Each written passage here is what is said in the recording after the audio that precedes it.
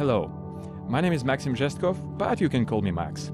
So, this is the very, very, very beginning of the modules project, and you are in the lobby. Yeah, that's how we named this wonderful and empty space where you could just read a little bit about project, where you could look through the map and other places which you will visit through your journey and probably listen to this first audio message. So, my project modules, a couple of words. I decided to make something really, really big, something uh, like a total artwork, where I will be able to control sound, spaces, interactions, architecture, graphic design, and all, all, all wonderful things around. And this is my first step into this territory. In the future, the, the, the main concept of this project is that it will grow and I will make it bigger with my new projects and I will make it happen till the rest of my life. So it's pretty interesting and I'm really excited to record this very first message because you know there will be thousands of messages in the future. So and this is the very beginning.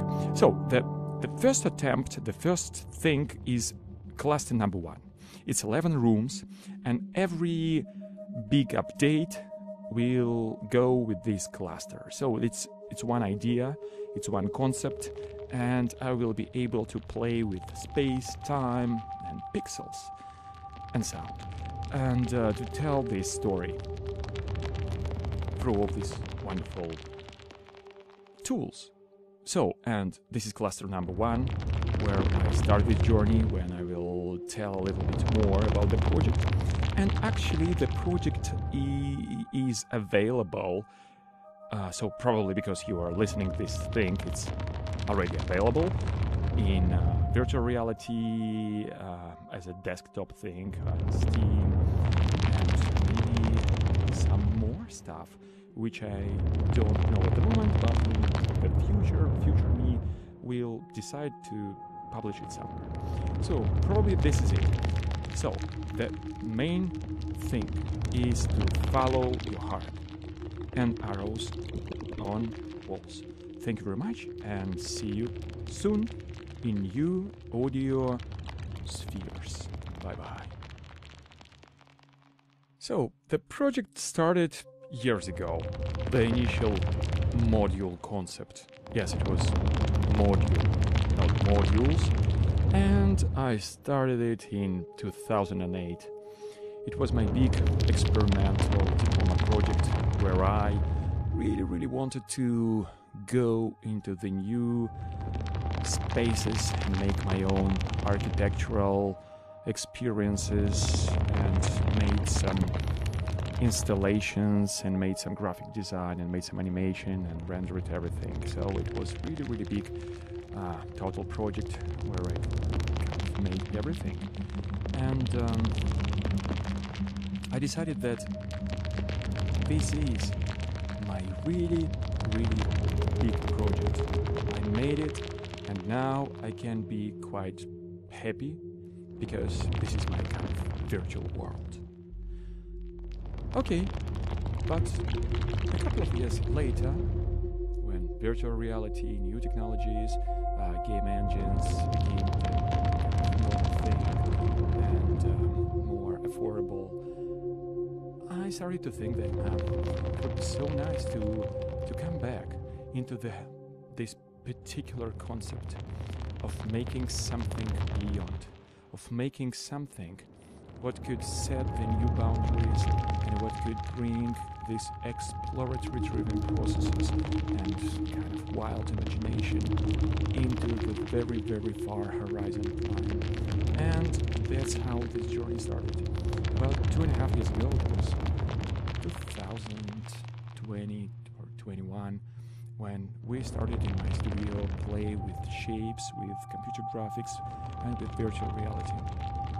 In the very beginning, um, we thought that, yeah, so probably it could be a nice.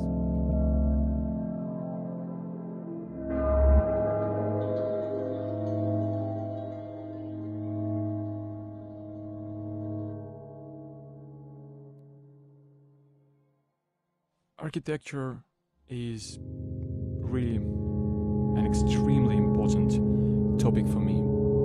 I studied architecture and I was in love with the idea that I can be a sculptor who creates spaces. So, probably this is the essence of architecture. But then I, I became a little bit disillusioned because architecture was mostly about utilitarian things, and I wanted to go into more creative freedom without plumbing, how Richard Serra um, joked. And um, what I decided to do to to be really close to to architecture. No, I actually didn't decide it. I just with this thing without any decisions. Every project which I make is about spaces. This is not by my decision. This is about my inner experience of true thinking. What is reality for me? And for me, reality is definitely about spaces. And I thought that yes, or probably I will never be an architect. I will never build a building and create some spaces and to invite people there. And this idea always, always been really close to my head that so where is the place for new architects in the future and in reality? For the people who want to overstep real worlds of possibilities and find their own place and make their own spaces and worlds. So it was really, really big journey. And only after 20 years, so 20 years ago, I, I started to to study um, architecture at university, and only now I can make something spatial and invite people inside. So you, my dear friend, is is a visitor of my space. Not real, but it's a re- in this space. It's a, some kind of dialogue. I really wanted to make not encapsulated experiences in a, in each room, but something where rooms are connected to each other. Something that we can see the next object. We can see what, what is going on there, standing here. So, and um, that's how I started to to make this wonderful spatial dialogue between room number two and room number three, and it was quite interestingly to synchronize and to to play with this different speed and experience. So here we have the horizontal motion. We have so actually I made this sketch about 15 years ago or something where I imagined a really huge wall and we experience approaching something. And we we know that this thing will happen that this thing will will appear. But we feel it with these two-dimensional spots two-dimensional dots which are just going outside so when i made this animated uh, sketch um, again animated sketch it's um, my own kind of uh, uh, term in my head that I sometimes think through through animation about some emotions, and um, I started this process years ago, maybe 17, maybe around 20 years ago. This room is special. It's cylindrical and it's huge. I wanted to keep this balance and to tell the story about different spaces and combine them in in particular way with thinking about what was before and what is going to be next. I love in the world of architecture this approach when you think broadly and you have completely different spaces.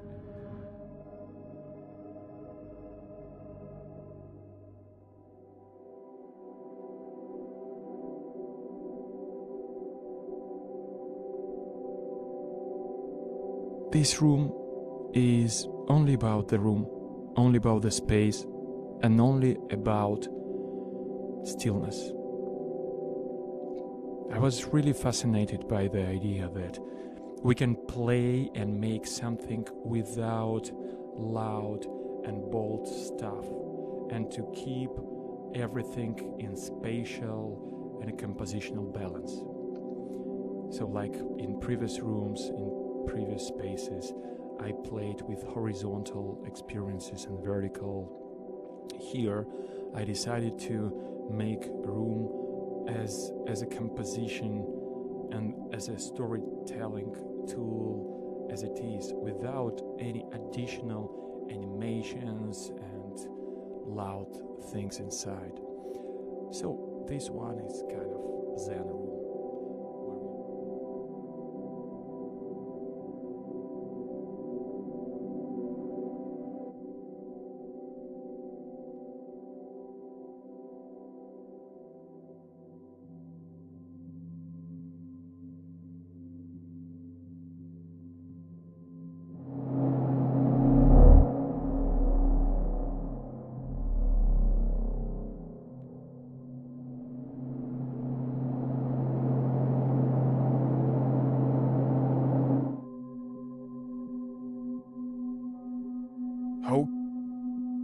so this this place could be dangerous. Because it will be life turning moment. And kind of your mind turning moment. And your body turning moment. And um, some people scream a lot. Some people try to fall in reality. And uh, some people just uh, tell that okay so it's enough for me. Let's let's talk about some different stuff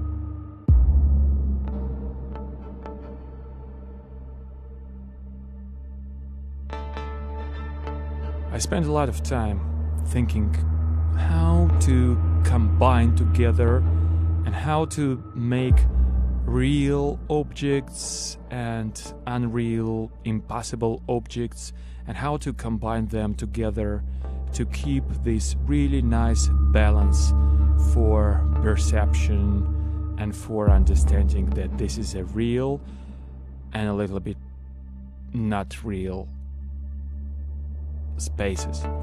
So we we made a lot of prototypes, a lot, a lot of different trials and errors, and I will talk later in in, um, uh, in my messages about compression quality, how it was vital for us to make something wonderful, but to keep everything inside possibilities, what we can compress and what we can upload as a software.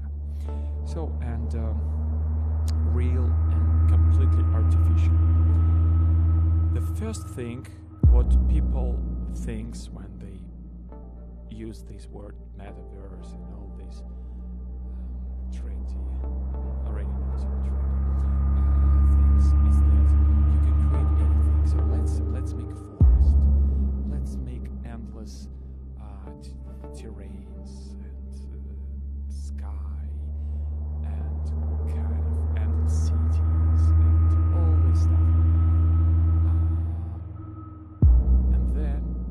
get the idea that okay, it's kind of huge,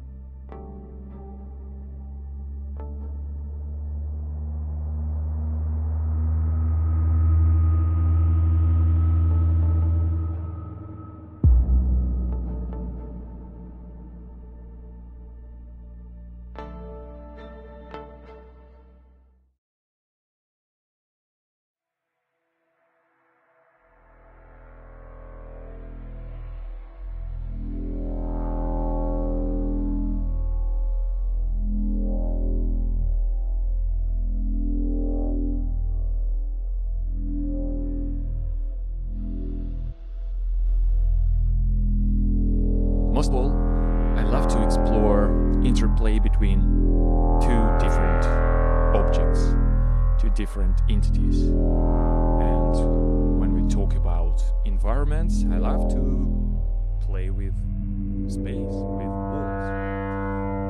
Probably this is the best actor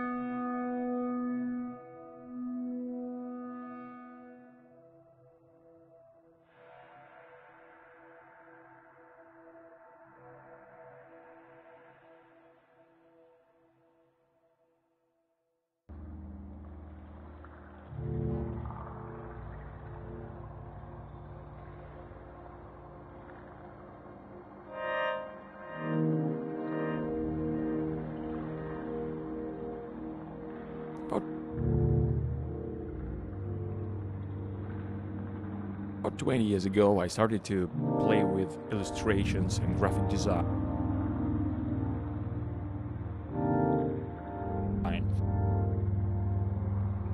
And think about spaces through some really minimalistic approach. I made a couple of illustrations where I used only circles to explain and to give experience of spatial objects, of sculptures, using only white spheres, distorted spheres on a black background, and vice versa. Black on a white and white on a black. So I was really, really concentrated on this minimalistic approach. How I can use quite simplistic tools, visual kind of core concepts um, with, with the simplest way possible to deliver shapes. Then I, I started to, to use animation and I started to play with animation in After Effects with the same approach. How I can use circles only in black and white, color palette, and to to make illusion of depth and to make perception that with this simplicity I can make and believe in in shapes without showing the shapes right? Just only showing the small amounts of these elements around. It's about negative space and about positive space. So and then years after I started to use 3D graphics. In this space, I wanted to continue this storytelling. In the very beginning, we had two rooms, two spaces, and uh, we seen horizontal and vertical movement, and we made the same story here that it's about vertical and it's about horizontal. And this particular one is, is really special for us because we had this idea in our mind that it would be really lovely to find ways to to create this math algorithm to to bring this sculpture to bring this installation to not to life, right? To to kind of digital life. And we found a way, and it works, and I'm extremely happy. And um, all my team made a wonderful work through the whole uh, project production, and I'm extremely grateful um, that I had chance to to go through this project together. And um, this particular room is the final one. Is the in the first cluster. And um, this is really nice analogy, a nice kind of shape to close this story. That this is a kind of membrane